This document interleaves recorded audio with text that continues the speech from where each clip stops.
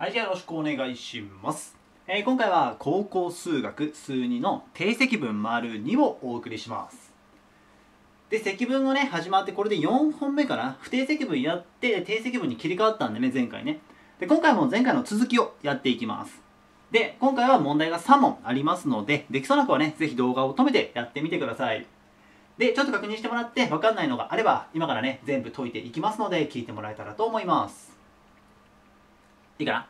じゃあ、早速ね、まず1番から解いていきますので、どうぞよろしくお願いします。よし、じゃあ行きましょう。で、前回の動画5問ね、問題やって、あそこでは結構いろんなルールを、ね、積分する時のルールね、やってったんですけど、今回、大きく覚えてほしいのは1個だけです。ちょっと細かいのも出てきますけど、で、まず、これね、インテグラル2個あると。0から2の x2 乗プラス1と2から3の x2 乗プラス1です。で、特徴としては中身が同じなんだよね、ここ。で、中身が同じ時って基本的にこれ使えんじゃねって思ってもらいたい。もちろん絶対ではないんだけど。で、何が使えるかって、連結が使えるの。連結。で、これね、ここの数字がポイントなんですけど、こっち0から2じゃないですか。0から2ね。で、そっち側2から3なの。2で繋がってるんだよね。0、2、2、3って。だから繋げて0から3にできますよっていう。そう。だからこれ2つのインテグラルがあるんだけど、実は0から3って繋げることができて、で、中身は変わらない。x2 乗プラス1で dx。これ解けば終わりなの。もちろん2つでそれぞれ解きますと。で、解いてやっても答え出ますちゃんと。出るんだけど、1個の方が楽じゃんっていう。そう。これが連結。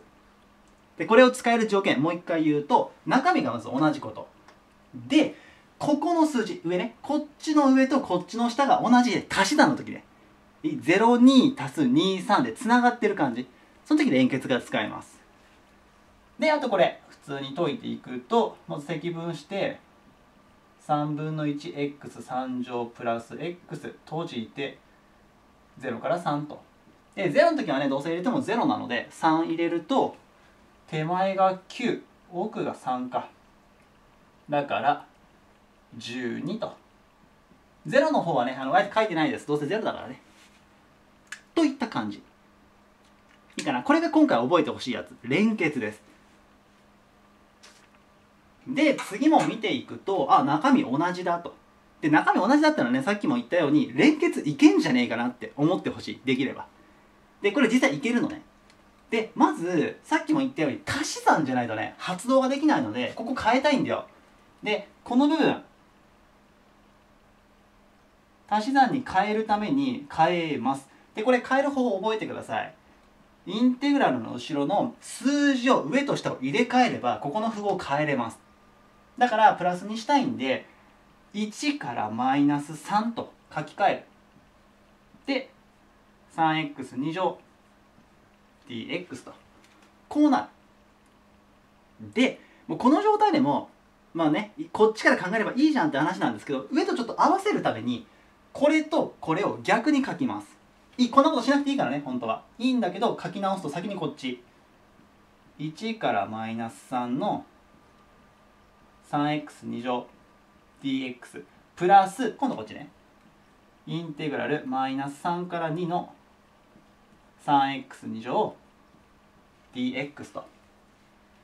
で、さっきは0から2、2から3だからイメージつきやすいんですけど、これ1から、1からマイナス3、マイナス3から2じゃんみたいな感じもするんですけど、これ使って OK なんです。大小関係特に気にせず、こことここの数字が一致すればくっつけて OK なのも。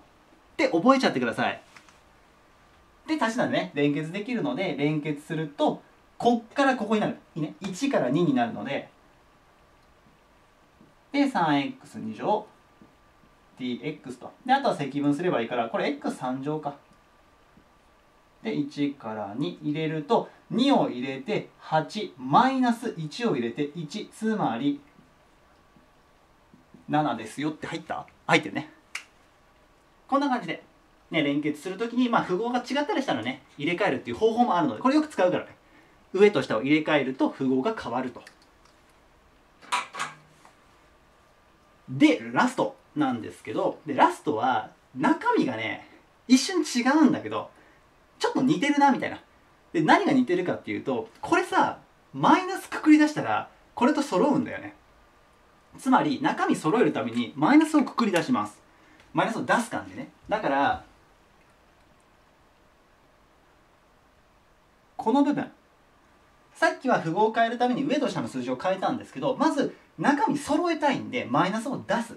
でマイナスを出したから符号変わってまだここ変わりません。でこれ中身かの符号変わるから順番も変えとこうか。こうなる。もう一回マイナス戻したらこれに戻るからね。でこれで中身が揃ったと。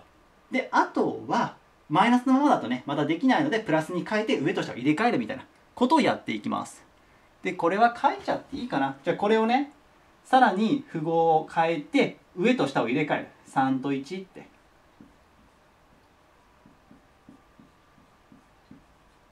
こうだね。でそうするとマイナス2の3と下の3が揃ったからよっしゃ連結いけるっていうことでインテグラルマイナス2から1ね。マイナス2から1ので中身はそのまんま。3乗マイナスの dx 下いこうか。えーとやると2分の 1x4 乗 2x2 乗か。でかいな。よいしょ。下入るよね。OKOK でこれは ちょっと頑張るか。まず1を入れるとえっ、ー、と2分の1マイナス2だね。で引くことの今度マイナス2入れるのでえっ、といくつだ？待って18か。プラスだね。8でマイナス4だから。マイナス8か。消えるのか後ろ。でここだけ残るから、えーと、通分してマイナス2分の3と。これで OK と。いやな、まあ、こんな感じでぜひ解いてみてください。で正直定期テストの、まあ、連結の問題とかであればこういうよりも下かな。多少入れ替えたりとか、まあ、中身入れ替えるために符号こっちの方がよく出てくるイメージはあるんですけどまず大元としてこっから覚える。連結の基礎だね。でこういうパターンもあるよといった感じで覚えてもらえたらと思います。では今回は高校数学数2の定積分丸2をお送りしました、えー、今回もねここまで見ていただいて本当にありがとうございました。で次回タイトル変わるんですが、まあ、定積分なんだけど定積分で表された関数というタイトルで動画ね撮っていきますのでもしよかったらそっちの方も見てみてください。ほんじゃ今回はこれで終わります。以上です。ありがとうございました。